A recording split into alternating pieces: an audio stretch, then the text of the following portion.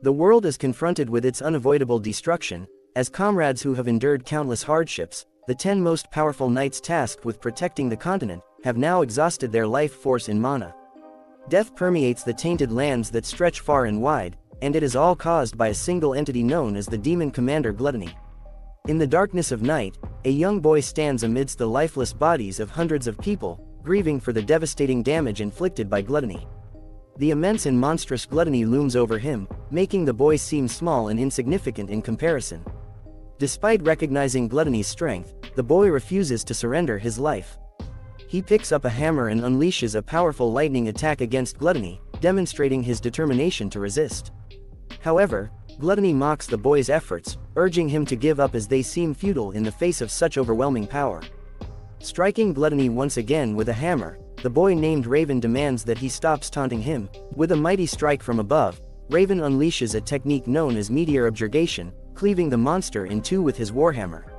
In a retort to its taunting, he responds with, noisy bastard.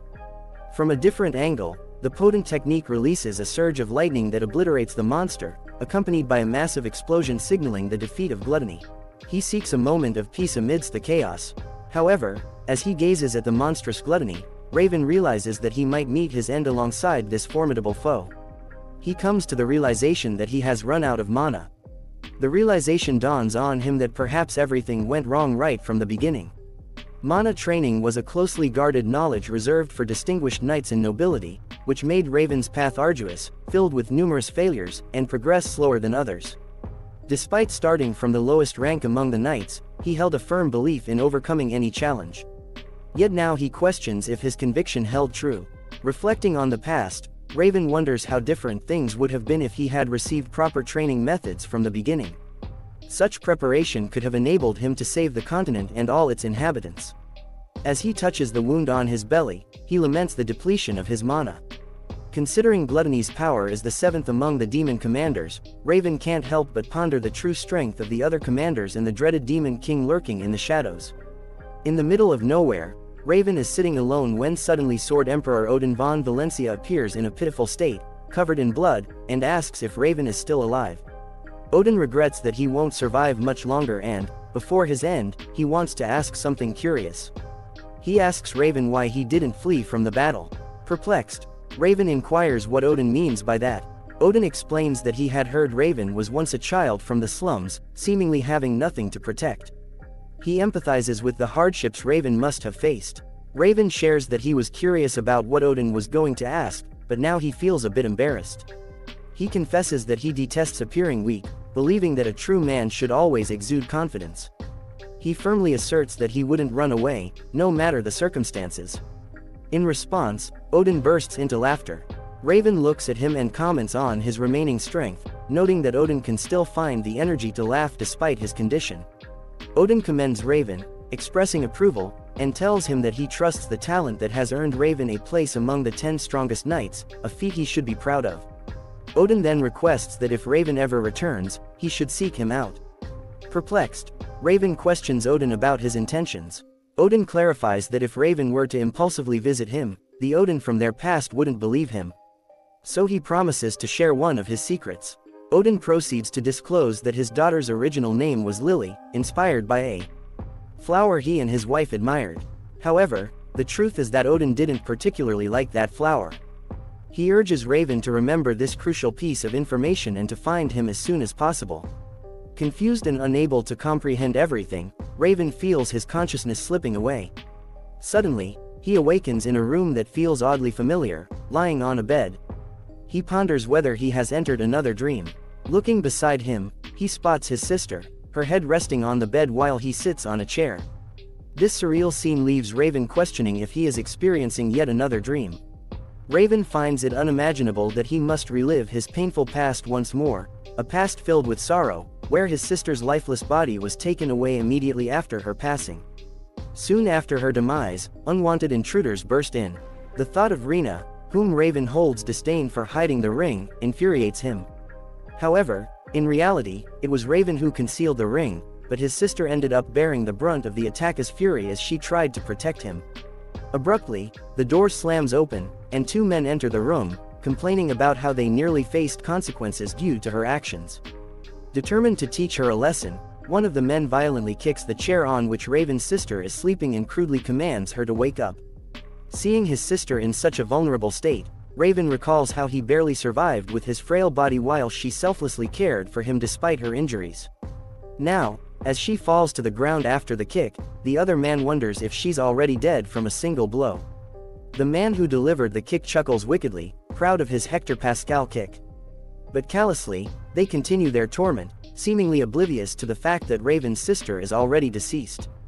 The men's audacity doesn't end there, as they even attempt to take away Raven's sister's lifeless body. One of the men questions the other, pondering why he bothers with a dead body. The other man coldly explains that there are sick individuals who derive pleasure from corpses, not to mention the lucrative market for organs and fresh bodies. Helpless and lying on his bed, Raven desperately shouts for them to stop, questioning whether he is unable to protect anything, even in his dreams. He implores his hand to move, and to his astonishment, it responds. Taking action, Raven attacks the men, and much to his surprise, he manages to knock both of them against the wall. This bold move allows him to save his sister's lifeless body. Infuriated, the men grow angrier and accuse Raven of seeking his death. They brutally beat him, but he refuses to let go of his sister's body. Eventually, the men decide to leave, taunting Raven as a persistent runt who will spend his life with his sister's dead body. As the men depart, Raven notices that the nightmare's conclusion has changed, unlike the relentless loop he had experienced before.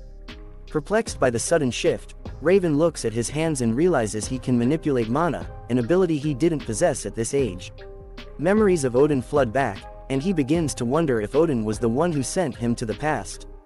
Gradually, Raven comes to a startling realization, this is not a dream but rather a chance to alter the future. The possibility of changing the course of events now lies before him. Overwhelmed with emotions, tears stream down his face as he curses Odin, wishing that he had been sent back a little further in time. Despite coughing up blood and feeling the frailty of his body, Raven recognizes that venting his frustration is futile. He recalls that even the Sword Emperor Odin himself wasn't entirely confident in this power. Nonetheless, Raven echoes Odin's last words, promising to find him as soon as he can. He reassures the Sword Emperor that once he completes what he must do, he will not hesitate to make his way to him. Raven decides to perceive this opportunity as a chance to finally allow his sister to rest in peace, a task he couldn't fulfill in his previous life. Vowing to seek revenge on the person who took his sister's life, a man known as Wolf, Raven reflects on how he barely managed to kill him in his past life by snapping his spine. This time, however, he is determined to exact proper vengeance before anything else. Raven has a destination in mind. With his sister, he carries her to her funeral, gazing at her lifeless form on the deathbed with a heavy heart. Speaking to Rena, Raven expresses his feelings, although they did not share a blood connection, their rare black-colored eyes and hair were the only things that united them. Among the invaders, he faced rejection and harm due to these traits. However, Rena saw him as a symbol of her lost brother. She named him Raven and showered him with genuine love and care. The profound sense of gratitude and indebtedness weighs heavily on Raven, knowing that he can never fully repay his sister's kindness. During the funeral, Zara, Rena's red-haired friend, notices a subtle change in Raven. She attributes it to Rena's passing and recalls a recent visit to his room, where she found him sipping soup by his deceased sister's side. Zara also observes that Raven's wounds have healed. In a solemn and poignant moment, Raven lifts his sister's lifeless body onto his shoulders and walks out of the room. Curious about his intentions, Zara asks where Raven plans to go, considering his injuries. However, Raven insists that he's fine, to which Zara counters that he clearly isn't. She wonders why Raven seems more receptive to Rena's words than hers. Looking up at Zara, Raven expresses gratitude for the soup, assuring her that he will repay her kindness. Afterwards, he proceeds to hold a funeral for his sister Rena, with Zara standing behind him. During the funeral, Zara contemplates Raven's intentions, while Raven resolves that organizing the funeral is his way of making amends to Rena. He chooses not to blame himself or be disheartened, believing it aligns with what Rena would have wanted. Recalling Rena's advice to always be courageous and hold his head high, Raven stands beside her casket and commits to living by her words. Gazing up at the sky, he implores Rena to watch over him from above. With unwavering determination, Raven vows not to have any regrets this time. One month later, on a starry night, Raven stands in the middle of a street, determined. He psyches himself up and tells himself, let's go. A passerby notices Raven and recognizes him as the beggar kid from the slums. The person comments that they can collect money from Raven later. Curious about Wolf's whereabouts, Raven asks them directly. This angers the men, and they can't believe Raven dares to mention Wolf's name. One of the men attempts to slap Raven, but to their surprise, Raven catches his arm and questions why he can't do so. Defying the man's expectations, Raven twists his hand, causing the man to scream in pain and kneel on the ground. Baffled by Raven's sudden strength, the other man wonders if he found some sort of potion. However, undeterred, the man decides that despite Raven's unusual strength, he's still just a little brat and tries to grab Raven by his collar to throw him away. Much to their surprise, despite the man's efforts, he can't lift Raven up and questions why he feels so heavy. With a smirk, Raven asks the man if he's wondering what's happening and if he feels heavier than expected. He taunts the man to give up because he won't be able to succeed. Raven swiftly kicks the man away and admires his progress as he has successfully integrated his mana body, a feat he couldn't accomplish in his previous life. Merging a body made of mana with the physical body seamlessly enhances one's power through their mutual interactions. This is the core principle behind the secret technique Raven has developed. Although potent, the technique requires consuming much more food than usual due to its effects. Having devoured Zara's 10 days worth of food, Raven feels grateful for her assistance. The man who was just kicked by Raven desperately crawls away to save himself, but Raven pursues him. With newfound insight, Raven informs the man that he realized something after recreating his mana body. Freshly awakened mana more easily finds its place in damaged bodies. Fearfully, the crawling man inquires what he means. Raven grabs the man by his leg and sends him flying through the air, expressing gratitude for messing with his body. The other men witness the scene and rise to their feet, wondering if an intruder has entered. They glance at Raven, questioning who he is and speculating if he might be the beggar brat. Two leaders positioned above the fray observe the unfolding events, surprised to see the kid arriving alone. They question what he intends to do without a weapon. In response, Raven confidently retorts, grabbing one of the men by his foot and skillfully using him as a makeshift weapon, swinging the man around. He strikes everyone with his improvised weapon, sending them soaring through the air before landing with resounding thuds. One of them even loses his teeth from the impact.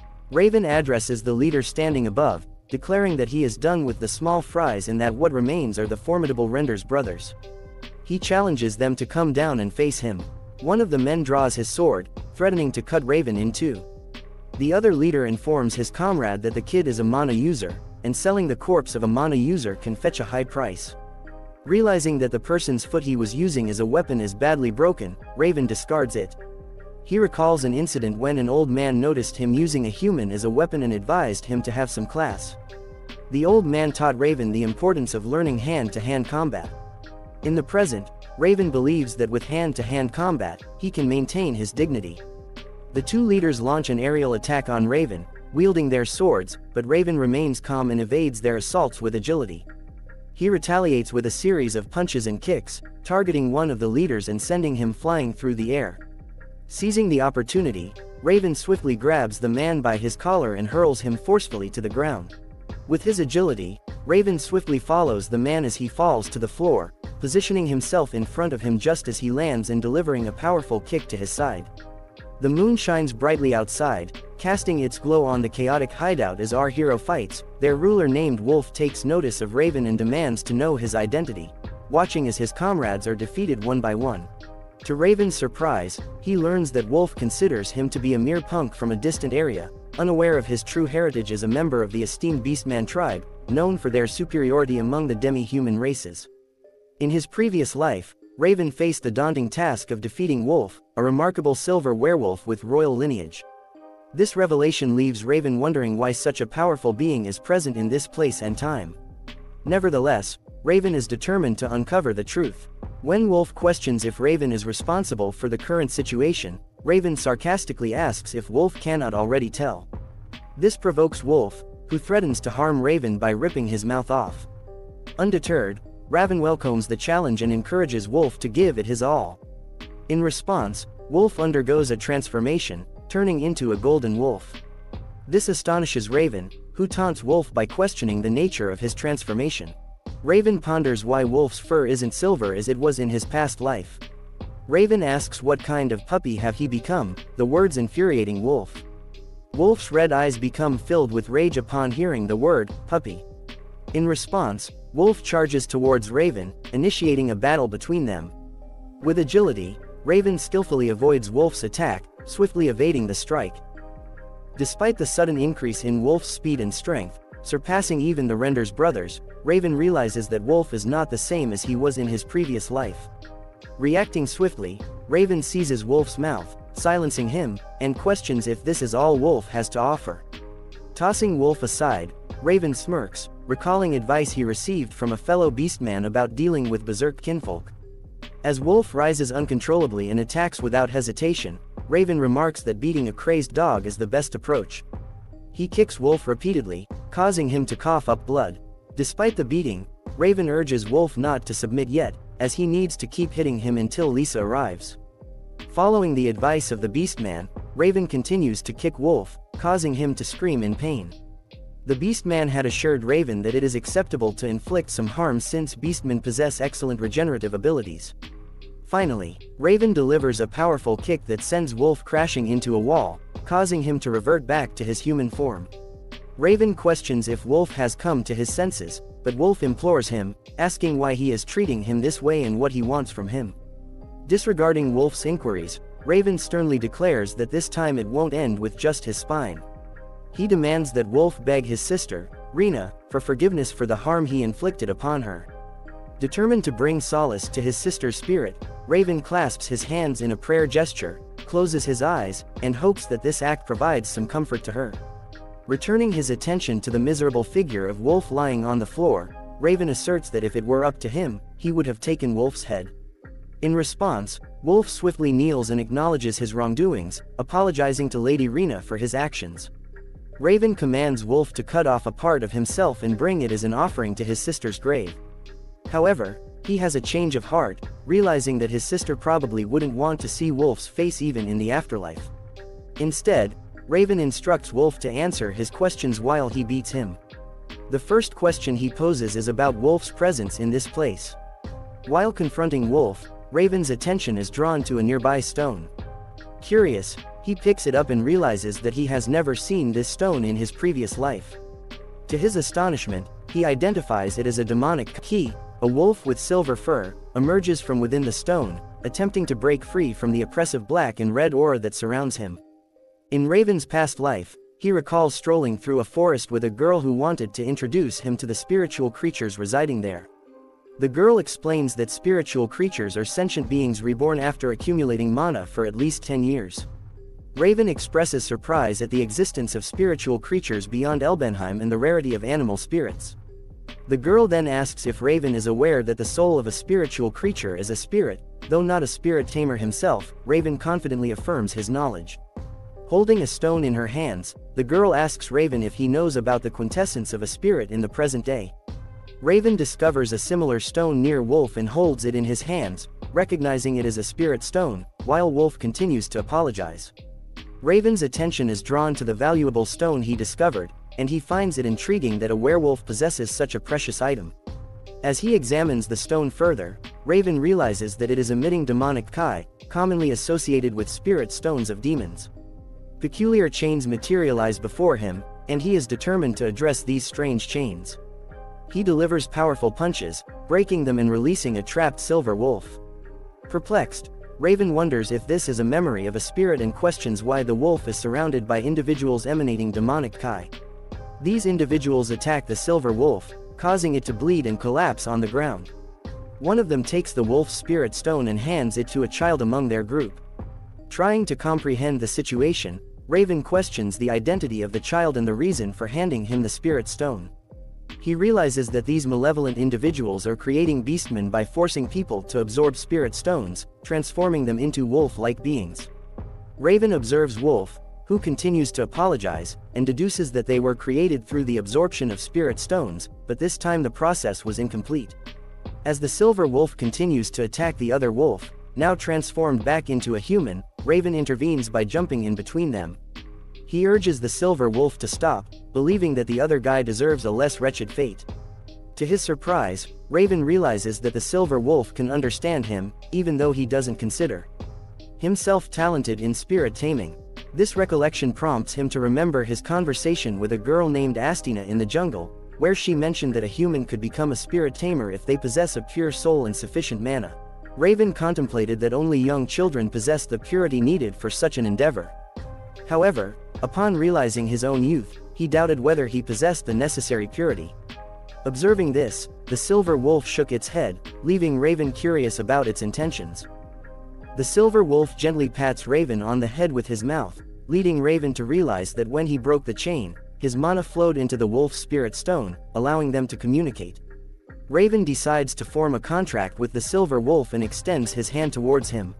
Raven considers providing the silver wolf with just enough mana to ensure its survival, thereby making it a valuable ally. He reflects on the fact that most spirits grow stronger as the spirit tamer's strength increases, which was one of the reasons why Estina was considered one of the best among the ten knights. Noticing the growl of the silver wolf, Raven understands that it is requesting a favor. As their eyes meet, Raven realizes that the wolf wants him to seek vengeance on its behalf. With mana flowing into his hands, Raven assures the wolf that it is not a big deal, as he had already planned to eliminate all individuals associated with demonic ki. Raven reaches out and touches the silver wolf, knowing that the final step in forming a contract with a spirit is to decide the name. He ponders how he should name the wolf. And Raven affectionately pats his head while holding his paw, observing his silver fur resembling the moon. They settle on the name Lunar Wolf. Raven gazes at the apologetic wolf and wonders about the mastermind behind the creation of beastmen with spirit stones. He suspects it might be the work of demon worshippers, fanatics who reject avatars and instead worship the demon king. These malevolent worshippers had already caused chaos in the world even before the demon king's army appeared. Although Raven was in the labyrinth at that time and lacked the full details, he feels frustrated. He kicks the apologetic wolf out of frustration and demands that he be quiet. Raven then asks about the child who gave him the spirit stone, questioning whether he is one of the demon worshippers. As the wolf remains in a subconscious state, repeatedly apologizing, Raven realizes that he is still not fully aware of his surroundings.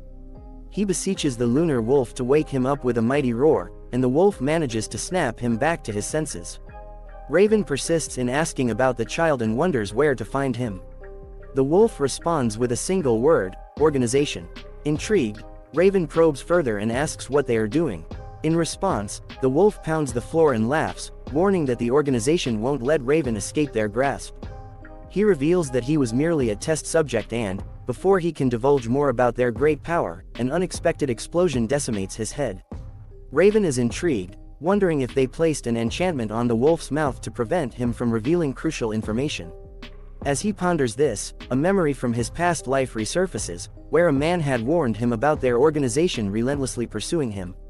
Initially, Raven assumed that the man was talking about his subordinates on the first floor. However, when Raven defeated those individuals, they were unaware that Wolf was a beast man. Deciding to set it aside, Raven acknowledged that he hasn't always used his head. Amidst the chaos, Raven noticed a crack in the wall emitting a mysterious blue glow. Recognizing its importance, Raven firmly grabbed Wolf by the arm and questioned whether he should start reclaiming what was once taken from him. With a forceful throw, Wolf collided with the wall, and Raven, contemplating how he would handle the situation if he were the sword's emperor, saw his wolf once more. Recalling a story shared by Emperor Odin, Raven contemplated sharing it with Odin someday. Placing Wolf's hand on the illuminated object in the wall, a door opened, and Raven entered, referring to Wolf as his old ally but swiftly amending it to a future ally. This led to a treasure room where Raven picked up a ring, asserting that he needed to take the Valencia family's ring. When Raven was in a pitiful state as a very young child on the street, a girl approached him, inquired about his name, and remarked that it was cute. The girl then took off one of her rings and gifted it to him, advising him to seek her out with the ring when he needed help. As Raven looked at the ring, he recalled that everyone in the Aslan Empire knew her as Chloe von Valencia, Chloe, the youngest daughter of the Sword Emperor Odin von Valencia. In Raven's previous life, he couldn't retrieve the ring as his quest for revenge took time and finding assistance was challenging. However, this time, the ring could be of great help. While stashing the ring in his pocket, Raven wondered where the Sword Emperor could be, smirking as he felt the time was right. Leaving the scene behind, Raven overheard a group of people discussing the dead bodies strewn on the ground, realizing that he is undoubtedly a mana user. The commander among them questioned if a single child caused all this mayhem. The commander scolded them for using a drug he had warned them about. Commander Axel, in charge at File's outer castle, wondered how Wolf was handling his men. Seizing the opportunity to raise his protection fee, Commander Axel decided to use the situation as an excuse. Spotting Raven standing there, he recognized him, and people around the commander began talking about him. The commander questioned whether Raven was responsible for all the chaos, and Raven confirmed it, descending the stairs. The commander then questioned whether Raven comprehended the magnitude of his actions. Raven expressed that he was dealing with corrupt individuals and questioned why a knight like the commander needed to intervene. In Raven's view, it seemed like Commander Axel had been accepting excessive bribes from Wolf. Enraged, Commander Axel retorted that Raven had a lot of nerve and tried to attack him. Raven observed that Axel had only reached the second level of mana usage, slapping away Axel's approaching hand. With a swift move, Raven kicked Commander Axel, aiming to send him flying back through the stairs. Holding back from drastic actions, for now, Raven understood the vast number of knight troops under Commander Axel's command. Commander Axel complimented Raven on his abilities, but without warning, Axel threw a punch, sending Raven flying backward. Realizing that he shouldn't make the estate head his enemy just yet, Raven understood the vast number of knight troops under Commander Axel's command. For the time being, Raven opted to make Commander Axel leave on his own. Descending the stairs, Axel noticed him and questioned why Raven didn't attempt to take the blow. Launching another attack, Lunar Wolf suddenly appeared behind Raven, startling Axel, who wondered if it was a spirit. With the situation seemingly calmer, Raven decided to engage in a conversation with Commander Axel. He asked Axel to be honest and acknowledged that this issue didn't concern Axel as long as he received the money. Commander Axel inquires about Raven's point, and when asked such a question, Raven proposes to Commander Axel that instead of receiving payment from Wolf, he could be paid with money. Commander Axel is taken aback by the suggestion, surprised that such an idea could come from a kid. He then asks Raven about his age and wonders if he used magic to transform himself. Raven clarifies that he is a native of this land and points out that he is well known for his black hair, unlike an invader. Commander Axel accepts his explanation and asks if Raven can pay him five white gold coins, the amount that Wolf used to pay. Raven finds the amount ridiculous and jokingly asks how far Axel plans to go with his demands. He suggests offering one and a half coins instead, stating that Wolf used to pay him one coin, further infuriating Commander Axel. However, Raven remains firm and tells him they can conclude their business there and then if he doesn't agree. Amused by the situation, Commander Axel comments on the world coming to an end with a kid negotiating like that. Eventually, he relents and decides to leave. Before leaving, he reminds Raven that the last day of the month is the due date for the payment, and he expects Raven to keep his promise. Onlookers inquire if Commander Axel is really going to leave like that. In response, Commander Axel slaps one of them, telling him to be quiet. Meanwhile, Raven calls out to Axel from behind and tosses a coin toward him, which he catches. Raven explains that since the ownership of the place has changed, the new owner should at least greet the estate head. He asks if Axel can arrange a meeting with the estate head. Axel agrees to report the matter to the estate head but warns Raven to pay on time or face the consequences of the estate head's wrath. Smirking confidently, Raven assures him that if there will be any next due date, he'll make sure to handle it. As the people start leaving, Raven stops them and gives them an hour's notice. He instructs them to gather everyone, including the gay members, women working in the invader, and the begging kids, warning them of the consequences of being late or attempting to escape. Raven threatens that he will take a life every minute for tardiness, and if they try to run away, his spirit will track them down and end them. Raven reminds them not to forget they have only one hour. The group quickly scurries to follow his instructions. Holding the ring in his hand, Raven contemplates how this plan could lead to taking control of this place in just a week. He expresses his anticipation to Duke Valencia upon their return. The people are out of breath, and Zara rushes to hold Raven's hand, concerned about his injury. Raven reassures her that it's not his blood and reveals that Wolf is already dead. Zara looks at Wolf's lifeless body in disbelief, observing the fear in the people's eyes. Raven realizes that they are afraid that the estate head won't spare anyone who challenges his nobility. Everyone in the invader knows that the estate head is backing Wolf, and the people worry about the consequences if they are punished for attempting to challenge the nobility. Holding a book, Raven scoffs at their concerns and questions the consequences for the estate head of Files, who is making a mockery out of Valencia. Outside the castle, two guards are engaged in a conversation. One of them remarks that he hasn't seen Sir Ram around lately and wonders if he might be on vacation. The other guard questions if he hasn't heard the news about Ram being under probation due to an incident in the invader. The first guard appears surprised and asks if Ram did something wrong. The second guard reminds him about the fight that erupted among the local thugs and how they all claimed to see a giant monster wolf coming after them. The first guard recalls the incident where everyone seemed to hallucinate simultaneously. The second guard agrees and adds that their leader, Wolf, was in a terrible state and lost all his money mysteriously. The first guard connects the dots and explains that during Ram's negotiations with the new boss, a problem arose. Every shop and store in the town are closed, and the visiting merchants expressed their grievances as they haven't been making any profits lately. The other guard remarks that it's understandable for the estate head to be angry, which may explain why the new boss has been summoned. Meanwhile, Raven listens in on their conversation, and the guard asks the other guard about the name of the person they were talking about earlier. Raven recalls when he held a book and asked about the fate of the estate head of Files, who was ridiculing Duke Valencia. Zara questions what he's referring to, explains that in his past life, he used to believe that all nobilities were the same. Even after inspecting the account book, he failed to notice anything amiss. Following the estate head's request, Raven handed over half of Wolf's fortune and the account book. However, in return, he only managed to gain a few acquaintances from Invader. Nevertheless, things are different for Raven now. Despite not being the brightest individual, his experience as a knight has taught him that there are nobilities who stand far above the rest. While holding the book, Raven catches Zara's attention, and she asks him if this will lead to the downfall of the estate head. Raven advises her not to worry about understanding it at the moment since it's not crucial. Perplexed, Zara asks him to clarify, and Raven reassures her that the most important thing is that nobody in Invader needs to fear Wolf anymore. They are all free from his tyranny. Zara is taken aback and asks if they are truly free now. Raven confirms it and encourages them to seize this last opportunity for Revenger to release their pent-up anger. Enraged, Zara marches towards Wolf and strikes him, cursing him for destroying her prosperous family. She swears not to let him die peacefully. Others present also join in the march, vowing to avenge their friends who were brutally beaten by Wolf. Sitting back and observing, Raven realizes he lacks the skill for comforting others, and it doesn't align with his method of repaying debts or healing wounds. However, he advises the people to take back as much as they desire from this situation.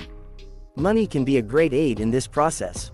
Raven informs them that the treasure belonging to Wolf is available for anyone, especially women and children who were compelled to stay in Invader. He encourages them to take the money and leave. One of the women among them asks if he is giving them all this money and wonders if he is serious. Zara raises a question about what Raven intends to do. He reassures her that he is fine as he already obtained the money he needed. Zara insists that everyone in the world needs money, but Raven explains that it's important to understand the source of this money. Even if they send the wicked guy to hell, the money will remain on Earth. As they look at Wolf's treasure, the people express astonishment at the vast amount of money they see.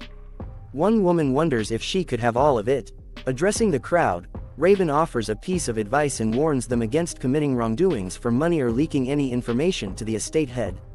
He cautions that his friend Lunar Wolf will track them down and tear them apart piece by piece if they betray their trust. Raven suggests to Zara that if she's leaving the estate of Files, he recommends going with Luna. He advises her to always travel in a group and hire mercenaries from a reputable guild. Confused, Zara asks if he means they are leaving on their own without him. Raven explains that he has other matters to attend to. Understanding his decision, Zara expresses confidence in his strength and assures him that they will follow his advice and head to Luna. She tells him that if things become too difficult for him, he can always find her. In gratitude, Raven thanks Zara for everything. As a result of their actions, the red light district of Files Invader is now closed. Meanwhile, the guards who were previously discussing the new boss begin to wonder about the new boss's name. Suddenly, Raven emerges before them and confidently states, Raven. The guard notices his presence and asks how long he has been there. They assert that, as a commoner, he shouldn't be lingering in the area where the head and the legions reside. The guard is perplexed and wonders how this child knows the name of the new boss. Raven confidently explains that he is the new boss. Suddenly, Lunar Wolf appears, frightening the guards, who promptly flee in fear. Raven sighs, frustrated by the fact that people always react strangely to his childlike appearance wherever he goes. Inside the castle, Raven stands before Ron, the Grand Master of Files Knight Order. Ron acknowledges having heard about Raven from Ram but comments on his young age.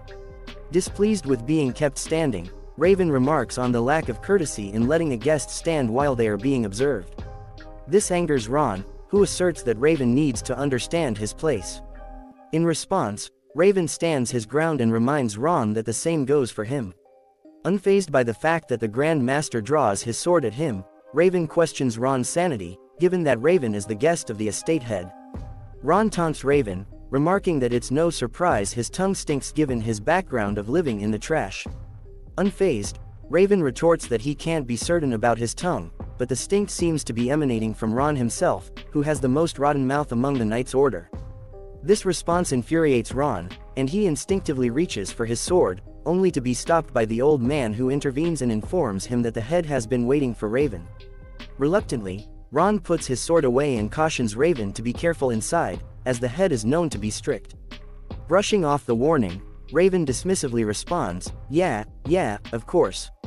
Secretly scheming to eliminate Raven as soon as he gets permission, Ron leads the way to the door of the head's office, announcing the arrival of Raven, the one from the back alleys. The head instructs them to enter, and as Raven lays eyes on the head, he wonders if that figure is the estate head. Raven greets the ruler of Files by bowing down, and the head asks where he learned his good manners. Raven explains that he practiced a bit to be polite in front of him. The head, who is also Baron praises of Files, Baron praises Raven's ability to act like a knight. While this is happening, Raven thinks that he's having trouble getting used to this situation. He wonders if Baron is the same overweight estate head he knew in his previous life. As Raven reflects, he remembers that Baron had a drug problem back then. He wonders if Baron looked like this before he started using drugs. Despite the change in appearance, Raven knows Baron was a noble in his past life and still is now. Anyways, Raven realizes that an account book going to the Duke of Valencia could harm Baron's position. This gives Raven the opportunity for proper revenge. Baron talks to Raven and mentions that he didn't treat Sir Ron the same way. Raven responds by asking how he can treat the boss and a worker in the same manner. Raven says he wants to work for Baron as well. This makes Ron angry. Baron then asks Raven if he sees the leader of their group as someone to compete with. Baron shows surprise at Raven's big dreams, but then Baron questions Raven's age. He wonders if Raven might have a mix of dwarf or elf ancestry. Raven lets Baron know that he's only 13 this year, which surprises Ron. Baron says it doesn't matter since they can see Raven right in front of them. But Baron points out that even though Raven wants to work for him, he has taken Baron's money without permission. Baron asks Raven to explain why he did that. Raven tells him it was for Baron's own good. When Baron hears that, he comments that he initially thought Raven was clever, but now it seems he doesn't quite grasp how things work in the world. Ron asks Baron if he wants him to immediately remove Raven from the situation. At this point, Raven steps in and asks Baron if he's aware that the Duke of Valencia has launched a crackdown on drugs and prostitution. Raven adds that he's certain Baron knows that Lady Valencia paid a visit to his territory. He reveals that he learned this information from her associates, and his aim was to tidy things up for Baron before any problems arose. Raven smirks, feeling pretty sure that he's sharing the truth and doesn't think Baron will run into any trouble if he decides to dig deeper into the matter. Baron thinks back to an occasion related to their youngest daughter's special ceremony, recalling that they were planning something significant at that time.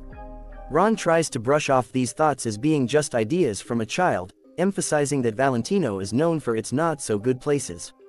But before Ron can go on, Baron interrupts him and tells him to be careful about what he's saying and asks him not to go too far or cross certain limits. Quickly recognizing his mistake, Ron promptly apologizes. Baron responds to Raven, acknowledging his point and agreeing that if Raven's words hold true, even if the approach is rough, it's something commendable. Raven expresses his gratitude for Baron's understanding. Additionally, Baron raises another matter he wants to clarify. He observes that it seems Raven has command over a wolf spirit, wondering if Raven obtained this spirit by taking it from Wolf's spirit stone. This revelation surprises Raven, leaving him curious as to how Baron could have known about this. As Lunar Wolf makes an appearance, Raven notices a circle formed from demonic energy near Baron. This leads Raven to contemplate whether Baron is a dark magician. He reflects on the idea that devils typically demand sacrifices in return for lending their power. With the presence of a second circle magician, Baron appears to be someone who is engaged in disturbing and dark practices, perhaps even involving the sacrifice of numerous lives. These thoughts trigger a memory for Raven, harkening back to a scene where two men stood over his sister's lifeless body. One of the men questioned the other about why he bothered with her body, given that she was already dead. The other disturbingly replied that there are individuals with twisted inclinations who find pleasure in corpses, not to mention that organs and bodies can fetch a considerable sum of money. Raven's memory takes him to another incident where he confronted two leaders in a fight. In that encounter, one of them looked at Raven and casually remarked that due to Raven having the body of a mana user, it could be sold for a high price. This realization dawns on Raven, connecting the dots and leading him to the conclusion that Baron was the one who had been purchasing corpses from Invader. Another piece falls into place in Raven's understanding. Wolf had the support of a dark magician. Baron directs a question at Raven, asking why he's not responding. In response, Raven admits that he doesn't grasp the essence of Baron's inquiry. This visibly agitates Baron, who then instructs Ron. Responding swiftly, Ron unsheathes his sword. Recognizing that facing both of them simultaneously might be a challenge, Raven summons Lunar Wolf in response. Lunar Wolf's appearance startles Ron enough for him to step back, while Baron sits calmly on his sofa. Baron remarks that Raven truly holds authority over the forest. Contemplating the current situation, Baron acknowledges that they have no choice but to consider acquiring a new test subject. This leads Raven to wonder about the subject in question, pondering if Baron plans to use him as a replacement for Wolf in their experiments. Baron inquires with Ron about Raven's level of power, and Ron provides the information that Raven is on the brink of reaching level 2. Seeking clarification, Baron asks if this implies that Raven is already comparable to a knight. Ron clarifies that unless Raven comes from a well-known family that imparted mana manipulation training from a young age, it's quite remarkable for him to have attained such proficiency. Ron adds that it's unlikely Raven acquired this skill entirely on his own, highlighting the precision and stability of Raven's mana control. In response, Raven elaborates that he inherited this knowledge from his family's closely guarded tradition. Baron proceeds to question Raven once more, prompting him to provide an accurate response this time. Raven deliberates on whether he should reveal the true source of his training. He realizes that they might not believe him if he claims to have developed it independently. Consequently, he informs them that he learned it from his late parents, who passed down the knowledge before he arrived in Files. Raven expands upon his explanation, describing the breathing technique as something he has been practicing since infancy. He notes that due to his recent increase in strength, he has come to realize that it's a unique and distinct method. This realization prompts a smirk from Raven as he muses about Baron's chances of verifying the truth, given that Baron has accepted refugees from various places to bolster income from Invader. Raven believes it will be impossible for Baron to trace his background or records. Raven then presents his presence before Baron as evidence of his authenticity. Baron concurs, agreeing that Raven's presence does indeed serve as proof. This outcome surprises Raven, finding it easier than he had expected. Baron discloses his intention to verify Raven's details through someone referred to as he. This mention of he leaves Raven curious about who exactly Baron is referring to. Baron instructs Raven to wait for a while. He explains that since Raven's actions led to Wolf's demise and subsequent turmoil, he needs a scapegoat to assign blame. This concept of blame puzzles Raven, prompting him to speculate on who might be implicated. He wonders whether he is linked to the organization Wolf had mentioned earlier. Raven also contemplates the possibility of he being a powerful dark magician, a prospect that he finds concerning. Baron urges Raven to respond, reminding him that Raven had previously expressed a desire to serve Baron. He implies that the offer at hand may not be unfavorable to Raven given his earlier aspirations. Raven offers a bow, expressing his willingness to comply if Baron issues such an order. With a respectful tone, he then inquires whether he is an esteemed guest. Baron confirms this, advising Raven to exercise more caution and politeness in the presence of he. In this moment, Raven recognizes that he still holds a card to play. He calculates the timeline required for the Duke's men to verify the authenticity of the account book, about three days, the assembly of a punitive army, another three days, and the army's journey to Files, approximately 10 days. Adding it all up, this totals a little over 15 days. With this time frame in mind, Raven proceeds to inquire about the arrival of Baron's guest. Baron responds to Raven's question with curiosity, wondering why Raven is seeking this information. Raven explains that understanding the timing is crucial for him to appropriately prepare and exhibit proper manners. Amused by Raven's approach, Baron chuckles and asks if that's the reason. He then reveals that, he, is expected to arrive in a week, advising Raven not to disappoint him. This revelation leaves Raven feeling disheartened, as it seems his strategy may not align perfectly with the anticipated timeline. In his chamber within the head's castle, Raven engages in a warm-up routine all the while reflecting on the question, did he mention a week? This pondering brings to light two distinct choices. The first option involves fleeing. Raven considers that the residents of Invader should have had ample time to depart by now, which means that escaping alongside them might not be too difficult if he decides to take this path. Outwitting the head's men could potentially be managed without much trouble. However, Raven recognizes the potential complications that could arise from this choice. Being placed on the head's wanted list would prove problematic, especially when it comes to his planned meeting with the Sword Emperor. Since Raven has certain expectations from the Sword Emperor, he understands the importance of avoiding any actions that might jeopardize those future plans. Furthermore, the mere idea of running away doesn't sit well with Raven. Despite his lack of strength, he has always approached challenges with the mindset of finding a way to conquer his adversaries. Considering the second option, Raven questions the legitimacy of the guest's impending arrival within a week. He ponders whether this visit is truly an official one, particularly given how the estate head had addressed the guest with an air of high nobility. Moreover, the conspicuous absence of people within the estate head's residence just before the guest's arrival raises suspicion in Raven's mind. Raven's deduction leads him to believe that this could be an underhanded, unofficial visit. He deduces that the supporter behind the estate head is likely someone who cannot openly reveal their identity. With this in mind, he contemplates the potential outcomes of an unforeseen major event in files before the guest's scheduled arrival. Such an occurrence could shift the focus and attention toward the estate head's home, possibly resulting in the postponement or cancellation of the visit. Although this approach involves a considerable level of risk, it aligns with Raven's customary approach to challenges.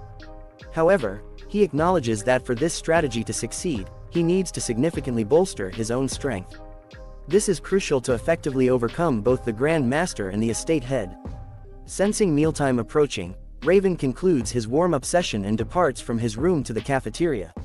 In the cafeteria, a cook attempting to serve food inadvertently spills it outside someone's bowl, prompting the recipient to admonish the cook for his inattentiveness. Following the cook's gaze, the recipient looks towards Raven with curiosity and astonishment rippling through the cafeteria's occupants. All of them are taken aback by the sheer amount of food Raven appears capable of ingesting. Some even wonder if Raven possesses dwarf lineage, given the notion that dwarves share an appetite similar to orcs. Raven's mana-infused body, which has overcome its earlier problems, gets a little stronger every time he eats. His power increases as he eats more. This special ability means he doesn't need to use medicines or herbal treatments. From behind, someone approaches Raven and addresses him. The man poses a question, inquiring if Raven is the same homeless boy who learned his manners from a dog. In response, Raven offers a succinct response, a simple, yeah. This prompts the man to chastise Raven, urging him to exhibit respect when interacting with adults. With a flesh-less bone clutched in his hand, Raven sneers in disbelief, mocking the idea of receiving respect, especially from someone who is picking a fight with a child. The man demands to know what Raven said, and in response, Raven playfully tickles the man with the bone, all while pointing out the ambiguity of his intentions. He questions why the man can't make up his mind. This exchange ignites a surge of fury within the man, prompting him to forcefully strike the table nearby. A man named Gren intervenes, urging the man to calm down as Raven is just a youngster. Meanwhile, Ron approaches Gren from behind, instructing him to stay composed. Remaining composed in his seat, Raven suggests to the man that if he's curious about Raven's strength, he should go ahead and inquire. The man warns Raven not to be all talk and no action. Internally, Raven braces himself for the forthcoming confrontation with the Grand Master. He quickly corrects his thought, realizing that it's not just the Grand Master but also the estate head who is the driving force behind the situation on the battlefield, and that man Finn stands face to face. Finn issues a challenge, inviting Raven to come at him while warning that he will personally teach Raven a lesson. In response, Raven raises a question, asking Finn if he's truly certain he won't regret this choice. Amused by the term, regret, Finn chuckles and urges Raven to arm himself with a sword, emphasizing his intention to swiftly settle matters. Tauntingly, Finn questions whether Raven is feeling fearful, displaying a hint of overconfidence. Raven replied, Well, if you say so. Without warning, Raven swiftly kicks Finn's legs, causing him to stumble backward from the force. Finn is taken aback, almost losing his balance. He grits his teeth in pain and clenches his fists, preparing to retaliate with a punch. However, Raven skillfully evades the attack. Raven channels mana into his legs and launches another powerful kick, striking Finn's other leg.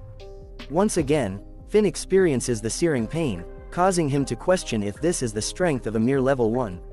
Determined not to be defeated, Finn infuses his legs with red mana, realizing that he cannot afford to lose in this manner. Raven remarks that Finn is quite resilient. In a fit of rage, Finn raises both hands, attempting to deliver an overhead hammer punch. However, Raven swiftly maneuvers between Finn's legs, disrupting his momentum. Raven then turns to face Finn. Finn is taken aback by the sudden turn of events. As he looks back, he sees Raven airborne, wrapping his legs around the back of Finn's neck. Raven firmly grasps Finn's head and chin, reassuring him that he has no intention of killing him. Suddenly, a loud scream echoes throughout the area, and in the next moment, Finn lies on the ground unconscious. Raven casually claps his hands, as if to brush off the fight as if it were nothing. The spectators were in disbelief as Sir Finn was defeated by a young boy. Following the fight, Raven notices Ron looking at him, and their eyes meet. Ron then turns around and walks away. Raven contemplates how he intentionally defeated a knight in front of a crowd, without relying on the assistance of the Lunar Wolf. He acknowledges that not many people possess such capability. As the defeated Finn is escorted away by others, Raven contemplates how his actions will likely give pause to the feudal head's intentions to remove him. As he wraps his hands, Raven considers that this accomplishment has increased his chances of success. However, suddenly, he feels a strange sensation, as if his body is weakening, and he nearly collapses to the ground. Right now, Raven is thinking of whether he went too far with his actions. He had to beat Finn because he wanted to become better than him, even though it wasn't an easy choice. This happened because Raven had to use up his magical energy unexpectedly. If this had happened in his old life, he would have had to try really hard. In Raven's past life, his magical body wasn't as good, his physical injuries healed quickly, but his mana took a long time to come back. But now, in his new life, his mana body is fully integrated, which means he doesn't have this problem anymore. He can do tough training without much trouble, and he's getting much stronger than he was before. Baron is sitting at a table to eat, and his servants are bringing him food. Raven is nearby too. Baron realizes that what he thinks about Raven is wrong because recent events have shown that Raven is reliable. Raven expresses gratitude to him for believing in him and personally checking on the situation. He receives a plate with a piece of steak on it. Baron lets Raven know that the steak is made from veal. Baron also mentions that they have prepared various other dishes, and Raven is encouraged to enjoy as much as he wants. In a polite manner, Raven responds that he feels they might have prepared too much food for breakfast. This surprises Baron, who had thought that the powerful attack Raven used to defeat the knight was fueled by Raven's hearty appetite. Raven explains that the events from yesterday unfolded because the knight had lowered his guard. In response, Baron tells Raven that he is being too humble and expresses his strong anticipation for Raven's promising future. Baron adds a touch of regret, mentioning that it's unfortunate there isn't a mentor available to guide a talented individual like Raven. Raven acknowledges that many knights in history grew up without a teacher, yet the ones who truly excelled often had a great master to guide them. Baron asks Raven if he learned about history. As Raven sits at the table with his meal, using a knife and fork, Baron notices that Raven has also learned how to behave properly while eating, just like Baron suspected. It's becoming clear that Raven is not an ordinary person. In his mind, Raven realizes that he acquired these skills from his previous life. Baron continues to talk, saying that if his guess is right, he understands Raven's thoughts. He suggests that there might be a way to figure out more about Raven's background by considering that place. This makes Raven curious about what that place could be. Baron then says that he will explain all the details. Baron adds that they got in touch with him yesterday, and he was really happy about it. In Raven's thoughts, he finds Baron's behavior puzzling, and he suspects that Baron might be addicted to something. It looks like Baron is okay because of the magic circle's power, but they don't know when the demon might want it back. In Raven's previous life, it seems Baron was left behind by someone important during the war, and that's when he lost his magic. While sipping his tea, Baron tells Raven that he should be excited about meeting this important person. Baron lets Raven know that this person, whom he refers to as him, is significant and will give Raven an important job. Raven says thank you to Baron for this chance. Raven's determination grows as he engages in rigorous training with a dummy. Despite his concerns about him and the organization mentioned by the Baron, he decides that there is no immediate need to delve into that matter. Instead, he focuses on the present and ensures that he is well prepared for whatever lies ahead. The estate head is a second-level magician, and Ron is a powerful second-level fighter. Ron might be a bit stronger, but they're about the same in terms of skill. This is because magicians and fighters who use mana are at similar levels. In his past life, Raven had already surpassed this stage, so he's determined to move up quickly. He thinks he can do it in six days. After three days, Raven is still practicing, and he realizes his body might be small, but he's definitely become much stronger. His flexibility has increased, and his weight and strength are concentrated in a better way. Raven's movements are much better now compared to his previous life. He understands now that his overly big and powerful appearance was a problem in his old life. He just wanted to be large and strong, and his unconscious mana body reacted to that desire. This made his body overly big and disrupted the balance between his mana and physical body. He realizes that being big doesn't always mean being strong. Two men approached the training area and saw the little kid who had destroyed Sir Finn's ankle. They get scared and decide to leave, saying they'll come back another time. Raven politely asks them to stay away from him. Over the past three days, everyone has lost interest since Raven has been eating and training non-stop. Ron comes over to the training area and notices Raven. He tells Raven to come with him because the estate head wants Raven to get armed. Raven notices Ron's sore and thinks it's perfect timing. Ron mentions how highly the estate head thinks of Raven, so he asks Raven to appreciate it. They go into a locked place, and Raven looks around. He sees armors that seem expensive, but none of them fit him. Then, Raven notices weapons, but there's nothing like a mace or a warhammer. Feeling a tinge of disappointment, he believes that this method won't allow him to earn extra money. Raven then asks Ron if he could obtain a sword similar to Kranz's. Ron, filled with pride, promptly responds and questions whether Raven believes his sword resembles an ordinary iron blade. He proceeds to speak about his sword, known as Grius, crafted by the renowned swordmaster Rogers. In response, Ron cautions Raven against coveting something beyond his current capabilities. Raven wonders if Ron comprehends the immense effort invested in creating that particular sword and suggests that it might suit him even better. In a playful manner, Raven remarks that good weapons should be wielded by skilled individuals, emphasizing that it is for the benefit of the estate leader. Ron becomes increasingly angry and questions if Raven is seeking his death. The intensity of Ron's anger is palpable, even to the guards nearby. In response, Raven suggests that if Ron dislikes the situation so much, they should settle it immediately through a competition. Raven takes hold of Ron's sword and boldly declares that if he loses, he will offer his own life. This statement further fuels Ron's fury, causing him to shout, you bastard, and swing his sword at Raven. In the area where weapons are stored, the guards overhear the events unfolding inside. Suddenly, a voice from within apologizes to the Grand Master.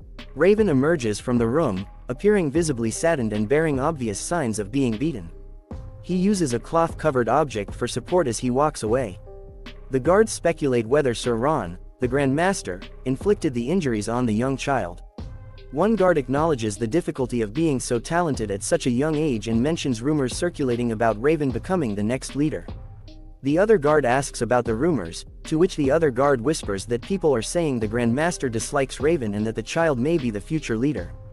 The guard understands that there might be a reason behind the Grandmaster's actions but believes it is still excessive.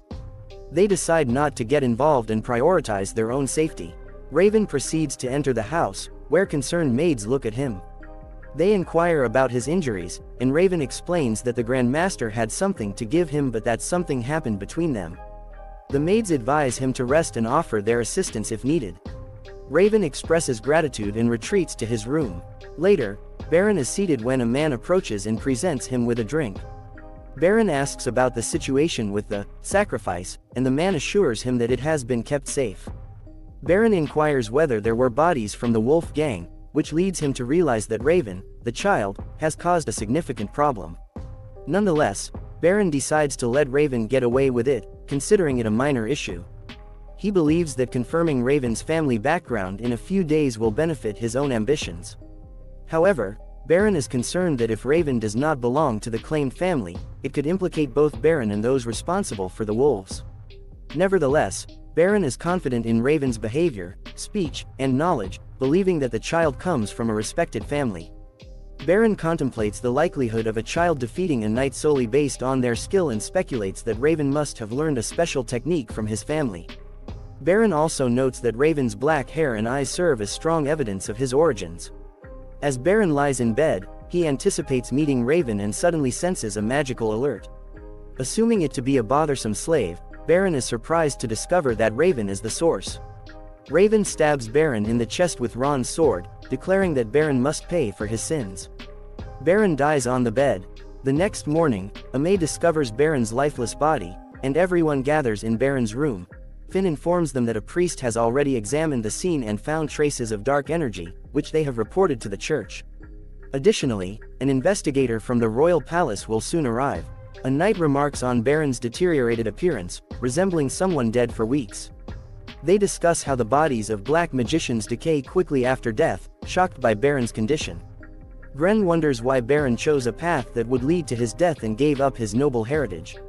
Gren realizes that there is no point in asking a dead person. They now face the issue of the sword, which they are certain belongs to their Grand Master. One knight raises the possibility that their Grand Master is responsible for Baron's death, suggesting a conflict over appointing Raven as the new Grand Master.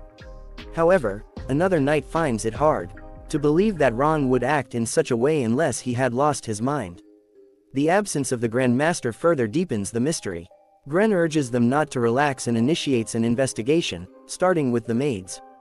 Gren deduces that all the maids claim to have witnessed Raven being struck by the Grand Master. He believes having one witness will resolve everything and orders them to bring Raven to him. Raven, still bearing marks from the fight and appearing sorrowful, explains that the estate intended to provide him with armor, but he didn't receive it.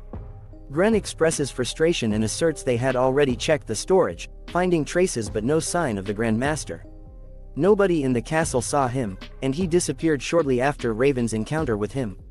Gren asks Raven if he truly hasn't seen the Grand Master since then, to which Raven confirms that he hasn't. Gren then questions Raven to ensure his certainty about the events. He asks if anything unusual occurred during that time. Raven proceeds to explain that Ron expressed intense disapproval of how the estate favored him, but Raven maintains that he hasn't encountered the Grand Master since that incident. Hearing this, Gren notices that Raven's account aligns perfectly with what the other servants have stated. Gren reassures Raven, expressing his understanding of the situation. Raven then inquires about his future and wonders what will happen next. He mentions that the estate head had promised him protection, after considering it for a moment, Gren advises Raven to return to the same location the next morning and tells him he can leave for now. As Raven exits the room, he ponders whether Gren is one of the knights working within the estate. He suspects that Gren may not be entirely virtuous but is perplexed by his inability to remember Gren's face. He questions himself, wondering if he simply forgot. As he reflects, Raven's memory resurfaces, reminding him of a vivid recollection of bravely standing up against and defeating his adversaries. Raven feels suspicious because Gren asked him to return even though he had already answered all the questions. For now, Raven decides to remain cautious. The next day, Gren gives Raven a medal indicating that he is a mercenary, along with some money. Gren explains that if Raven wants to go to a different place without any problems, he should have the identity of a mercenary or a merchant. This medal, made by Gren, will serve as proof of Raven's identity to others. Raven realizes that he was planning to obtain something like this anyway. Raven is curious why Gren is giving this to him, and Gren explains that staying in Blackwater will limit Raven's potential. Gren advises Raven to aim for bigger opportunities elsewhere. Gren adds that he is offering this advice as someone who has lived longer than Raven. Raven wonders if Gren might be saying this for himself as well. It makes sense that Raven can't remember Gren if Gren is planning to leave soon. Raven thanks Gren and admits he was also considering leaving. Raven believes that since a black magician has appeared, the royal family will soon intervene and stop the actions of that person. Raven has prevented the Duke's investigation team from coming as well. Raven decides to go there by himself. Gren reacts and expresses his gladness to hear that. He tells Raven that if he becomes successful, he should remember Gren's name. Raven then asks Gren for his name, which surprises Gren. Gren can't believe that Raven didn't know his name until now. Gren introduces himself as Gren Liberty and tells Raven to just call him Gren. Raven politely asks Sir Gren to also remember his name and leaves. Raven thinks that now, with both the estate head and the Grand Master gone, the future of Files might rely on Gren, the knight. Raven feels a bit sorry for Gren as he overheard Gren saying that they would likely need a skilled tracking magician to find the Grand Master, which seems unsolvable. Since Raven now has a mercenary medal, he plans to borrow a horse from a guild. Suddenly, Wolf Lunar appears and starts barking. Raven understands the wolf's language and asks if Lunar is suggesting that he should ride him. Raven quickly declines, explaining that their destination is too far, and he doesn't want to get motion sickness from riding a wolf. Raven remembers how monsters once made fun of him for trying to ride a dire wolf, warning him that he might end up vomiting all the food he ate after just a few minutes. Raven tells the wolf that only someone like an orc, whose sense of balance is different, could manage it. But the wolf argues, and after some discussion, Raven agrees and climbs onto the wolf's back. Raven notices that Lunar looks about the same size as himself. He understands that when spirits show themselves, their size is determined by the strength of their master. While riding Lunar, Raven remembers something Astina told him about how a stronger spirit tamer's traits can affect the spirit's appearance. As Raven sits on Lunar's back, he feels a change in the wolf. Lunar is becoming sturdier and more powerful.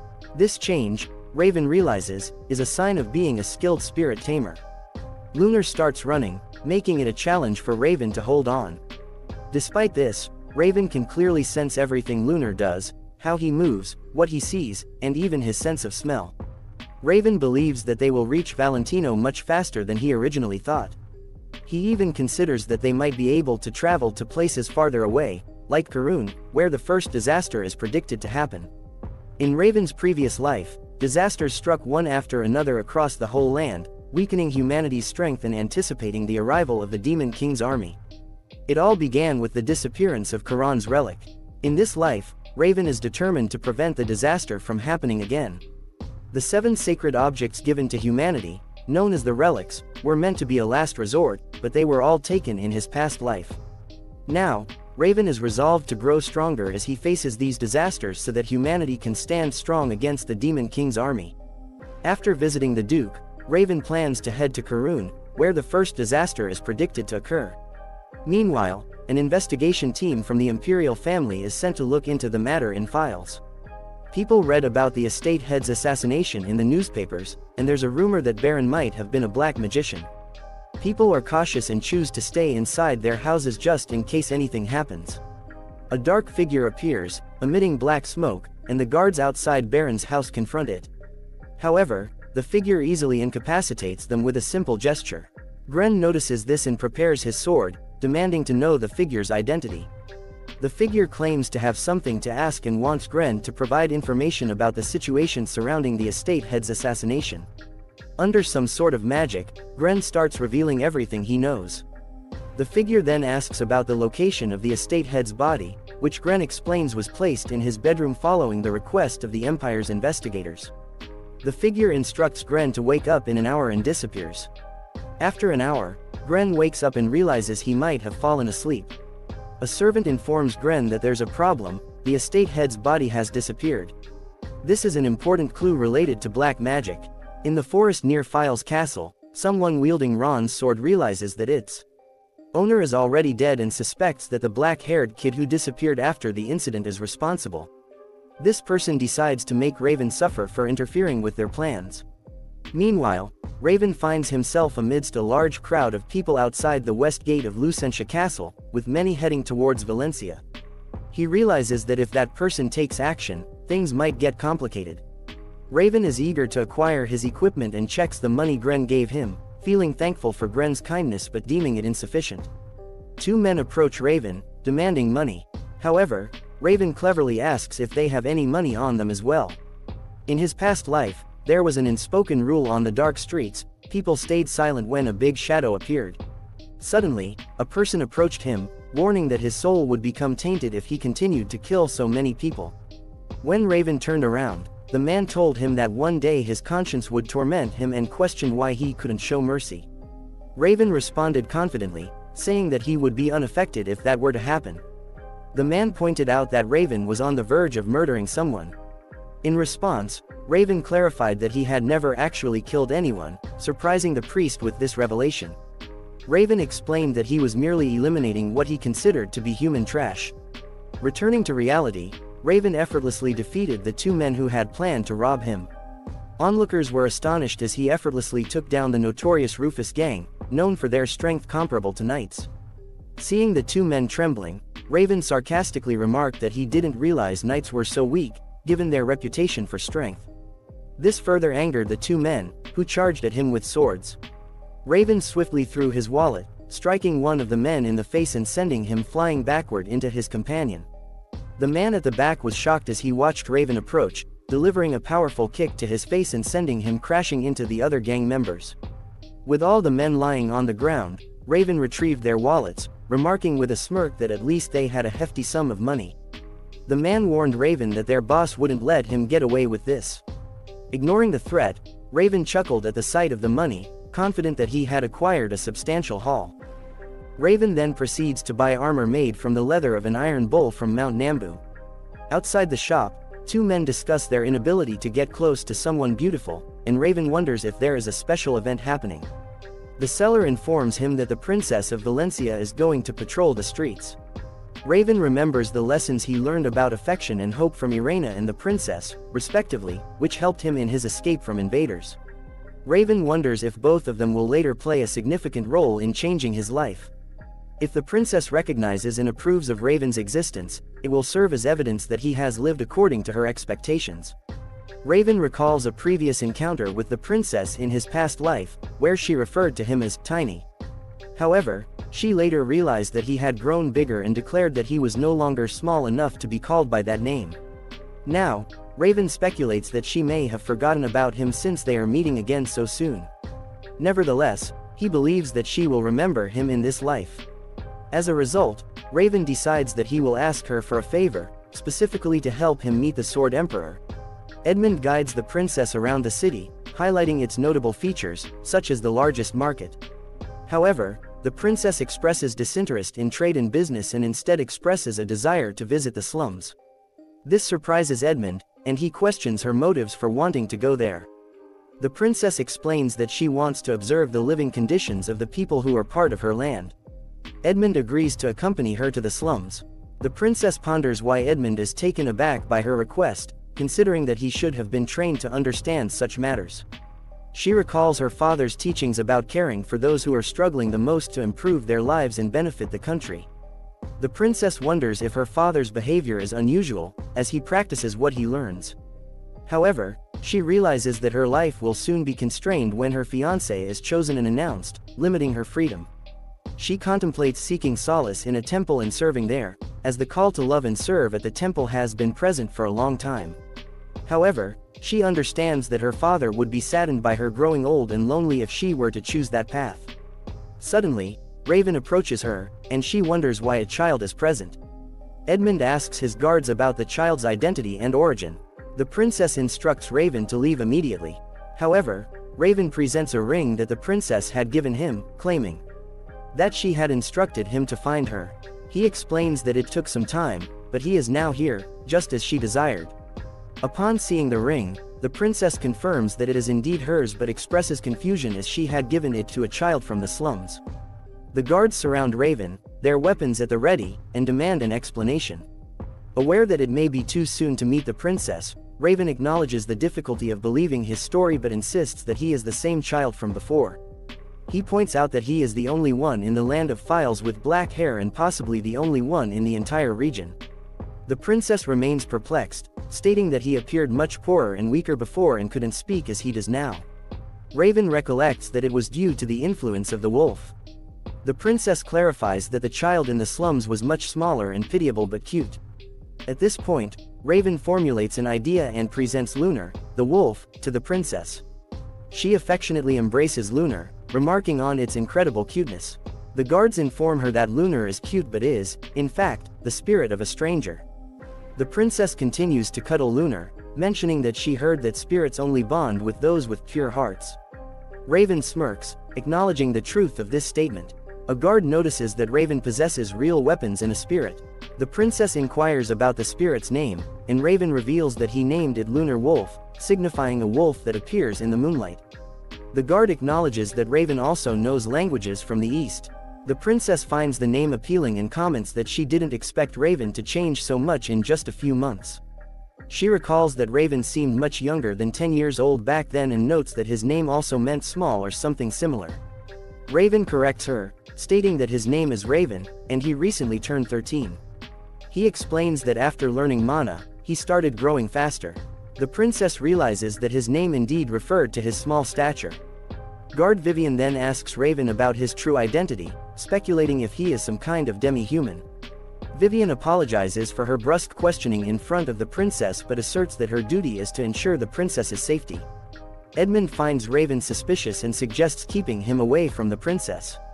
Raven asserts that he will not force others to believe him and mentions that the princess instructed him to seek help whenever he needed it.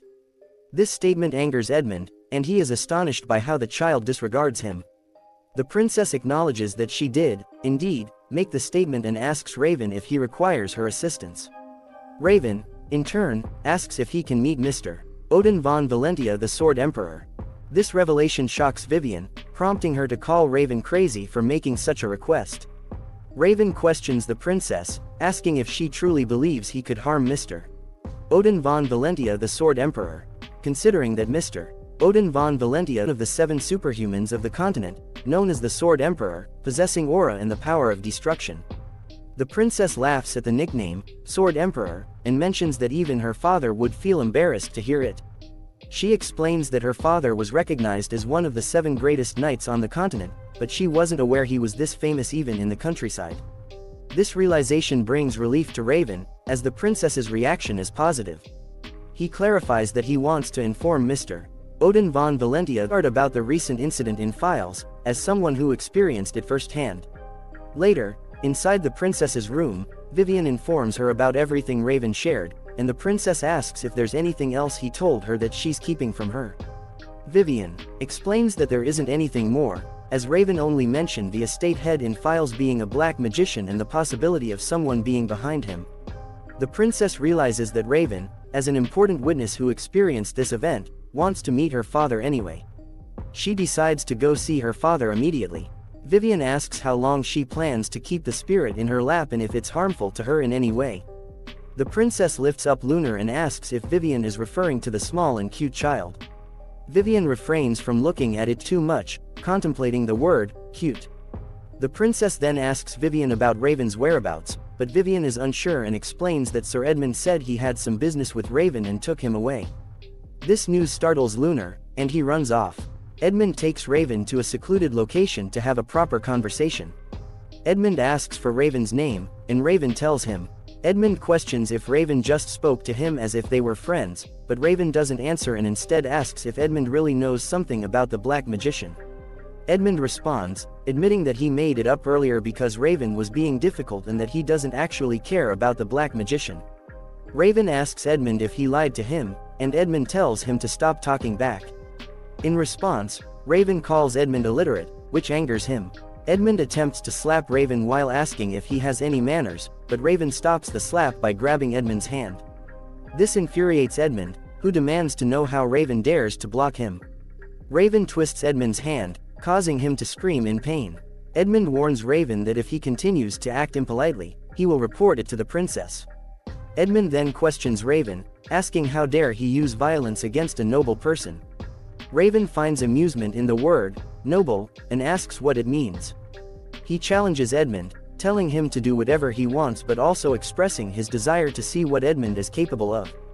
Raven believes Edmund called him for a reason. Edmund agrees and tells Raven to come with him.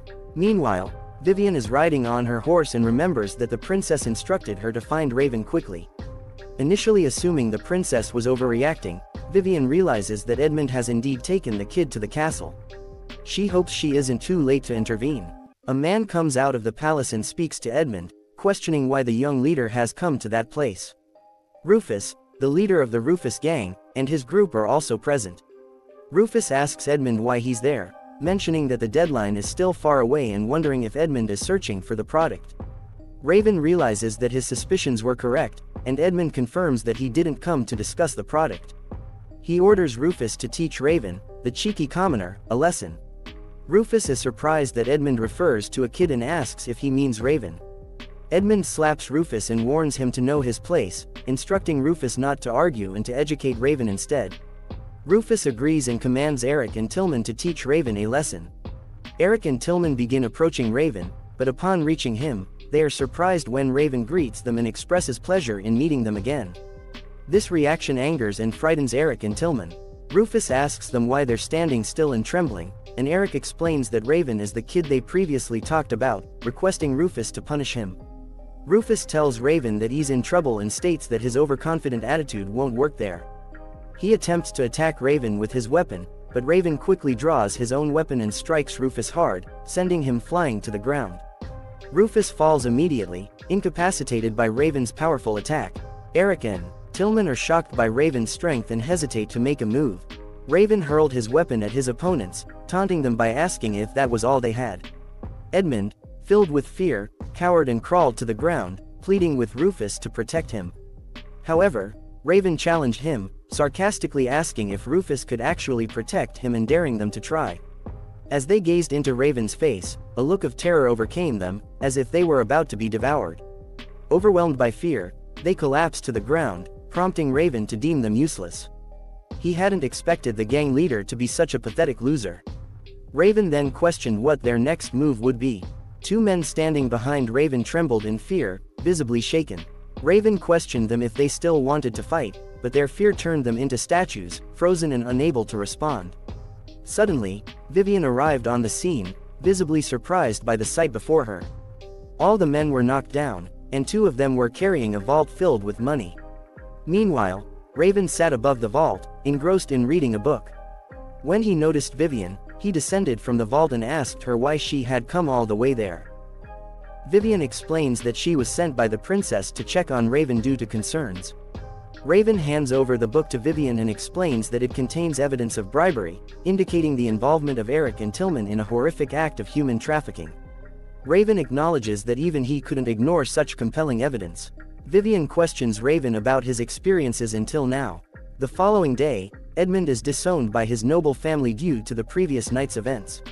Raven, the princess, and Vivian are together in a carriage, traveling somewhere. The princess mentions that Edmund might have been associated with the human trafficking group for a long time and that this incident has tarnished the noble family's reputation. Vivian realizes that the relationship between the princess and the noble family will likely worsen in the future and apologizes to the princess. The princess asks Vivian if she truly believes she made a mistake, and Raven honestly doesn't think so. The princess, holding Lunar, expresses her certainty and states that rewards and punishments should be fair, regardless of social status, which aligns with her father's beliefs. Vivian questions why the princess is looking at her in a certain way, and the princess reveals that when Edmund fainted, Vivian should have at least injured one of his limbs because he escaped without any consequences. Vivian responds, finding it harsh. Raven realizes that this is where their journey begins, referring to the youngest daughter of the famous Sword Emperor and the talented female knight. Sometimes they resemble sisters, other times a mother and daughter, but their relationship has a unique dynamic that remains intact even as situations change. Raven speculates that she probably enjoys acting as a protective older sister or mother figure to Princess asks Raven what he's thinking, and he reflects on how Edmund seemed to value his noble status above everything else. He acknowledges that nothing can make up for Edmund's wrongdoing, but being expelled from his family. Vivian questions how Raven can speak that way, wondering if he's truly just a kid. The princess discusses the matter with Lunar, affirming that Raven makes a valid point. Raven is confused and asks about the moon. The princess explains that she found it difficult to pronounce Lunar's name, so she decided to call him Moon. She asks Lunar if he likes the name, and Lunar responds with a bark. Raven asks the princess if she blames him or is wary of him. The princess responds that she heard a story about a dark-haired kid who dismantled an underworld organization and rescued victims, similar to the current incident, which she finds remarkable. Raven is pleased that the princess believes in him. The princess advises Raven to inform her first if a similar situation arises in the future, and Raven assures her that he understands. Three days later, their carriage unexpectedly stops, and they wonder why. The carriage driver explains that an elf has requested a ride. They look outside and see Irena, an attendant of the World Tree, introducing herself and asking to travel with them for a while. Raven realizes that Irena is a powerful black magician of the Fifth Circle, which surprises him as it's uncommon to see elves in the middle of the Aslan Empire. Elves are typically associated with fairies, known for their beauty, and their kingdom, Elfenheim, is located in the far west of the continent.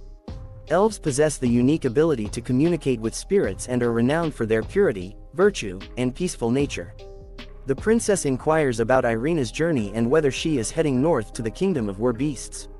Irena asks if it's acceptable for her to join the group from the Aslan Empire, acknowledging the historical conflict between the Empire and the Kingdom of Were Beasts. The princess considers it not a significant issue but notes that Irena is embarking on a long journey to explore the world and collect stories.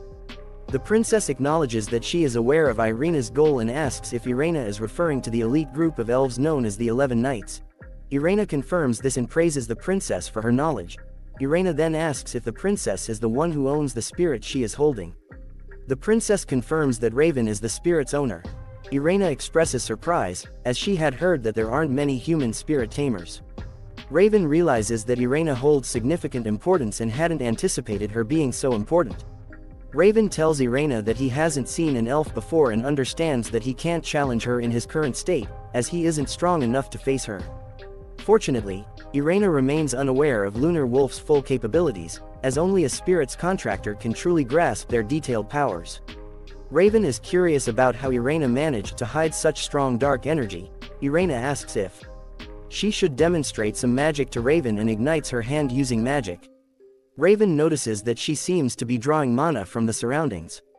He remembers Argon's words from his past life about differentiating between mana and dark energy and regrets not heeding Argon's advice. Raven considered the potential battle scenario, taking into account the composition of their side. They had 12 third-level knights who utilized mana, as well as Vivian, a fourth-level mana swordsman.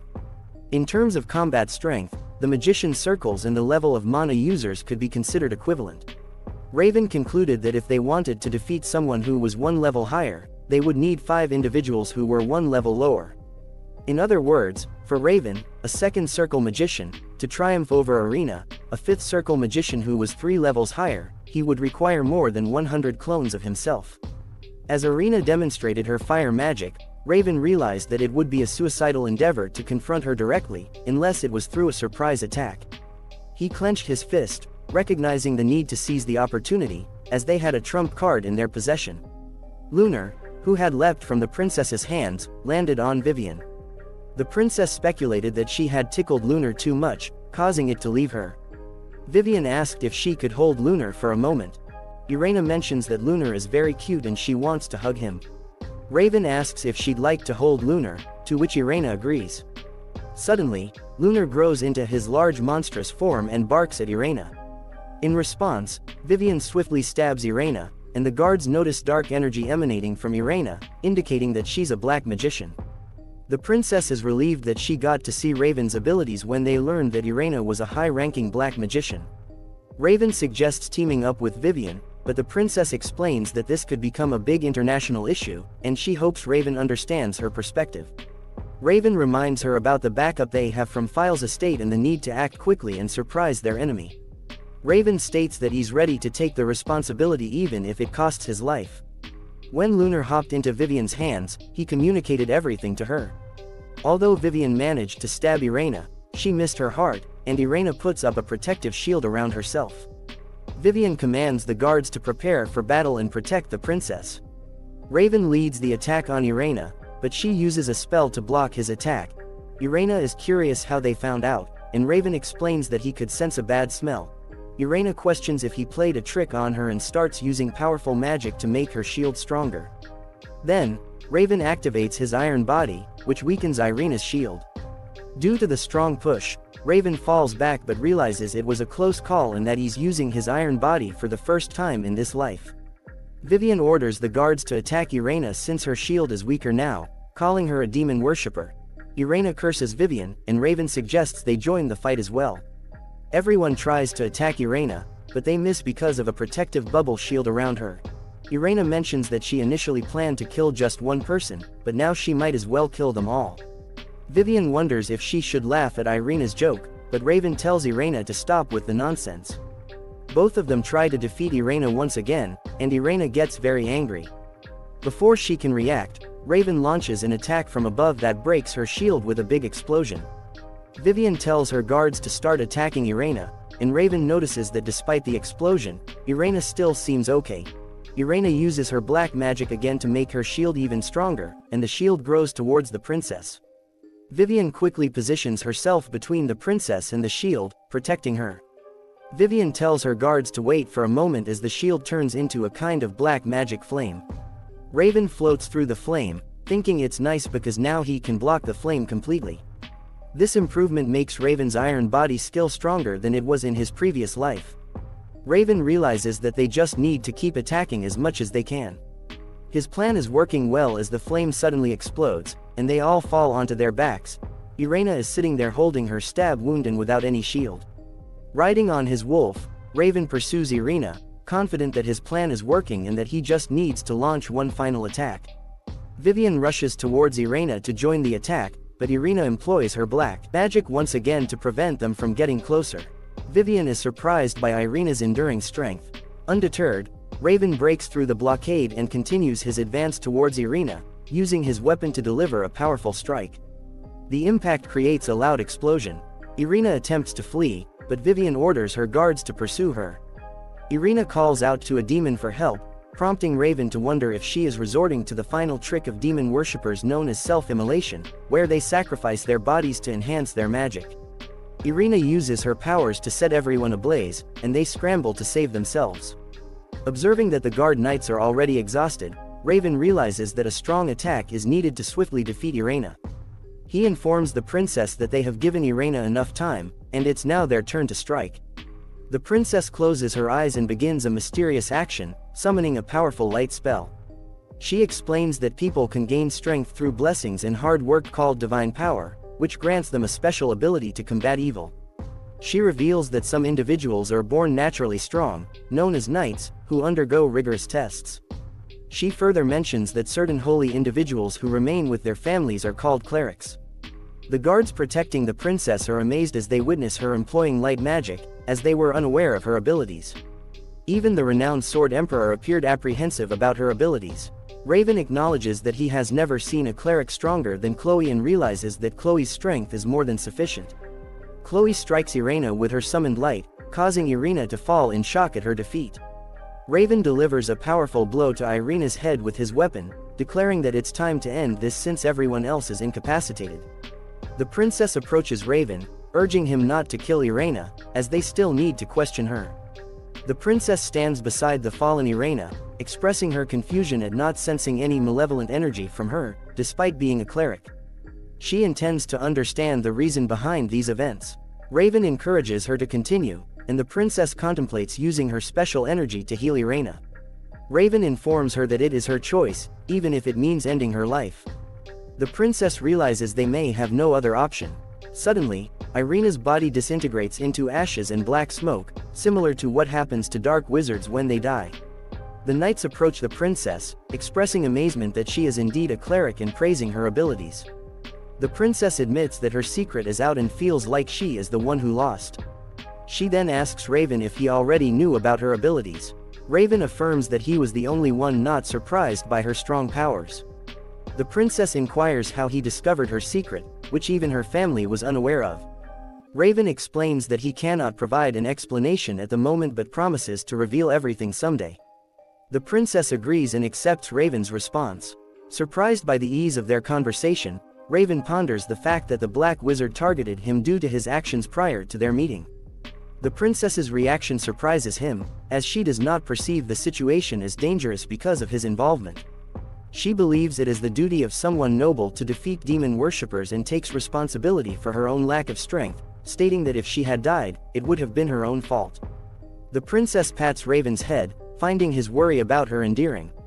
Vivian interrupts, playfully squeezing Raven's cheeks and remarking that kids his age usually dislike being called cute. The princess interrupts their banter, emphasizing that discussing such matters is not important at the moment.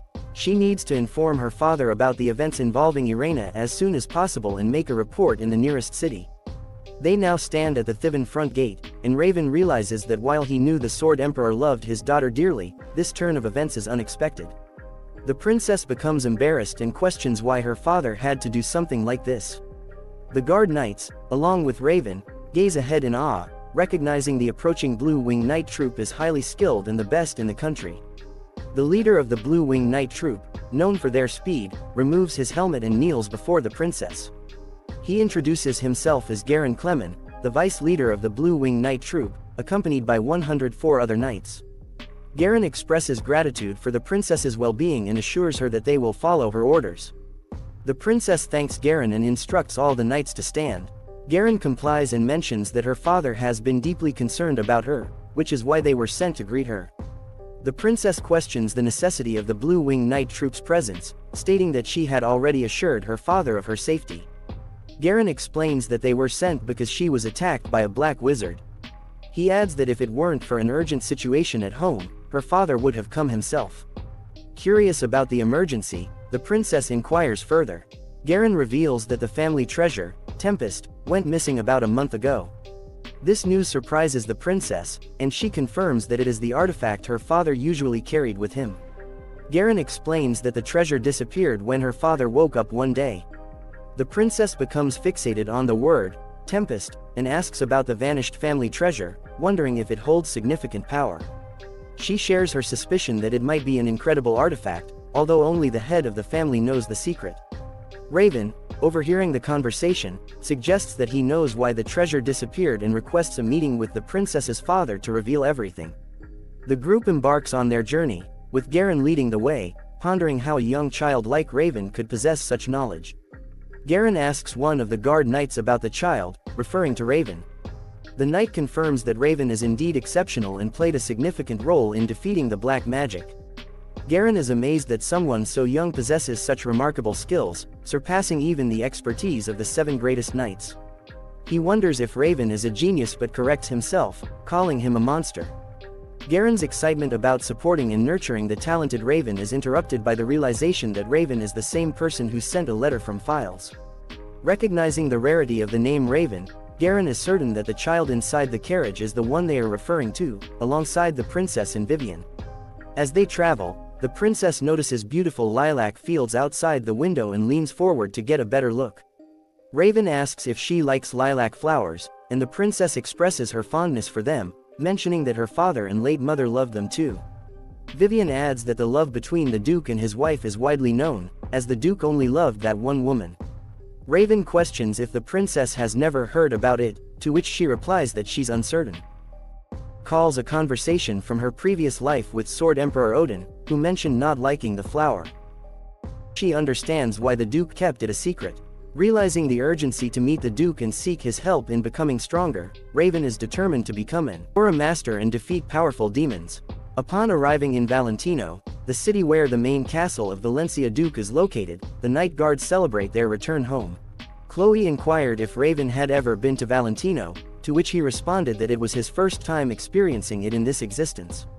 Chloe became perplexed by his use of the phrase, in this life. Their attention was then drawn to the sudden approach of an individual. It was none other than the Sword Emperor, who expressed concern for his child, Chloe. Raven was taken aback by the unexpected presence of the Sword Emperor in this particular lifetime. The Duke approaches Chloe, filled with tears of joy and wanting to embrace her, but she evades his hug, mindful of the public setting. The princess reminds her father of the need to maintain his dignity and requests an apology to the knights who might have been bothered by the scene. The Duke clears his throat and expresses his gratitude to everyone for their invaluable assistance in ensuring Chloe's safe return. He acknowledges that he wants to show his appreciation not just as the leader of Valentina but also as a father. He announces that he has arranged a party for everyone to enjoy, and there is unanimous agreement. Turning his attention to the princess, the Duke inquires about the young boy named Raven. To his surprise, he realizes that he doesn't know who Raven is. The princess explains that she had previously informed the Duke about Raven, emphasizing that Raven is the key witness in the incident involving the Black Magician. Apologizing for his forgetfulness, the Duke explains that recent stressful matters have occupied his mind. Raven takes the opportunity to inform the Duke that he wishes to discuss something concerning the missing Tempest. This revelation causes concern among the gathered individuals. Raven's boldness surprises the Duke, who activates his soul pressure. Reacting quickly, Raven jumps back to protect himself and smirks, recognizing that even the Sword Emperor has much to learn. Raven marvels at the fact that the Duke, as the Sword Emperor, possesses skills only comparable to an aura user. He draws a comparison to Astina, one of the seven greatest knights, who has already surpassed Aura and become an Aura Exceeder. Additionally, Raven believes that Jirik is also nearing the level of an Aura Exceeder. Raven easily withstands the intimidation from the Duke's soul pressure, thanks to the soul strength acquired from his previous life. He asks the Duke if it would be appropriate to discuss matters here. The princess explains to her father that Raven is still young and sometimes acts without thinking. However, the Duke disagrees, stating that an ignorant person wouldn't exhibit such behavior. He decides to have a conversation with Raven in his office. In his office, the Duke asks Raven if he possesses any information regarding the disappearance of Tempest. Confirming his knowledge, Raven suggests that his speculations might be accurate. The Duke encourages Raven to share what he knows. Raven begins by mentioning that the word, Tempest, signifies time or opportunity from ancient times, as the treasure vanished a month ago. He wonders if it possessed the power to turn back time. The Duke asks Raven to elaborate on his statement. Raven proceeds to recount a future disaster that will occur 20 years later, revealing the entire story. The Duke finds the story too convincing to be fabricated by a child. He points out that Raven even knows the names of the first hammer of the dwarves, the guardian of the world tree, and the great warrior of the orc tribe. Raven explains that these individuals were his friends who aided him. The Duke chuckles and questions if Raven is referring to the formidable enemies the Duke has been facing for some time. The Duke elucidates that the word, Tempest, represents an opportunity or chance obtained by sacrificing the life of a powerful individual. Only one person can be sent back to the past, and descendants must exercise great caution when utilizing this power. These words have been passed down along with the family treasure. However, the Duke admits that he never truly believed in them. After hearing Raven's story, though, he starts considering the possibility of their veracity. Nonetheless, he expresses skepticism about his own decision-making, pondering why Raven was sent back instead of himself, especially if he possessed the ability to use his knowledge and power from his past life to prepare humanity for the battle against the Demon King's army. Raven explains that only the future Duke would have been aware of these matters, inquiring if the Duke made promises to save his talents and other things, dismissing them as nonsense. Raven had suspected that the Duke might have become somewhat eccentric with age. The Duke clarifies that it was because he didn't know how far back in time one could go. Raven questions if the Duke used the power on him because of this uncertainty. Leaning back, the Duke acknowledges that he couldn't be certain since he had never used the power before. He mentions the saying that one goes back to a time when their soul is deeply wounded. It seems that Raven returned to the past when he began comprehending things. The future Duke must have anticipated that Raven would come back to this specific time. Realizing this, Raven understands why he was sent back to the day his sister died. Observing Raven's expression, the Duke asks if he said something that upset him. Raven clenches his fists but reassures the Duke that he didn't upset him. Relaxing his hands, Raven explains that it's not the Duke's fault. He decides to be grateful for the opportunity to see his sister one last time. The Duke reveals that there is one more thing he wants to confirm. Raven eagerly asks what it is. The Duke explains that he wants to know if the future Duke instructed Raven to come and meet him, surmising that he must have said something to Raven that proves Raven was sent by the Duke. Raven asserts that Duke's unborn child in the family has been named Lily, a flower admired by both the Duke and his wife. The Duke insists this is common knowledge, but Raven contradicts, stating the Duke dislikes that flower. The Duke, realizing the truth, laughs and agrees with Raven. He admits only someone like Raven would point that out, a fact he never admitted, even when his wife left. This is now a secret the Duke can't share. Uncertain if he should feel triumphant or amused, the Duke questions if Raven believes him. He thinks the family treasure's disappearance from his room is the only explanation and calls Knight Royer for verification. Raven asks about the Duke's intentions, and the Duke, unsure if Raven time traveled, wants him to prove it. He asks Raven to demonstrate the talent recognized by the future Duke. Leaving the room, the Duke is followed by Raven, realizing the Duke is testing him. Raven contemplates pranks but asks if there's something specific the Duke wants to know about the future.